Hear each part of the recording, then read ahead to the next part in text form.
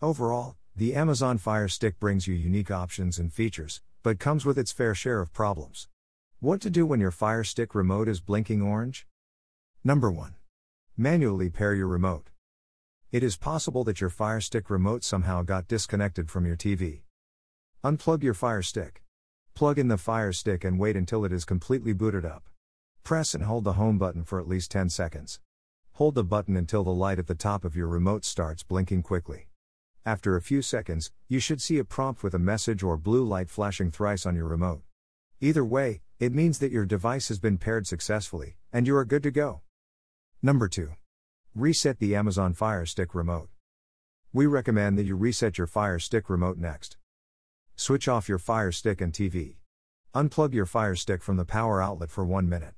Press and hold the left button, the menu button, and the back button on your remote for around 15 seconds. Wait for about 5 seconds. Remove the batteries from your remote. Plug in your Fire Stick back into the power supply and wait for 1 minute. Put batteries back into your remote. Finally, press the home button on your remote. Number 3. Reset your Fire Stick.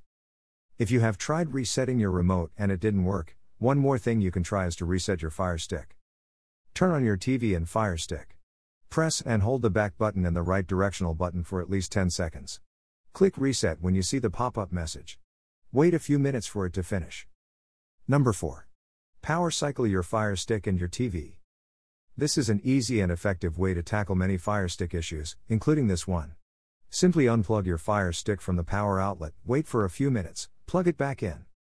To power cycle your TV, unplug it from the wall, wait for 1 minute, plug it back in.